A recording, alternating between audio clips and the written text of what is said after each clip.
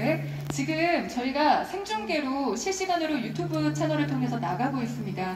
아마 많은 분들이 보고 계실 텐데 준비를 잘 하셨으리라 생각하고 마음껏 즐겨주시길 바랄게요.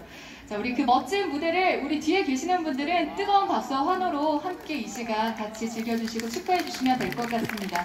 자, 그렇다면 우리 윤승단 지휘자님과 호반 인도 오케스트라 그리고 여기에 계시는 모든 색소포니스트 분들이 들려주는 바램 지금부터 만나보시죠. 박수 부탁드릴게요.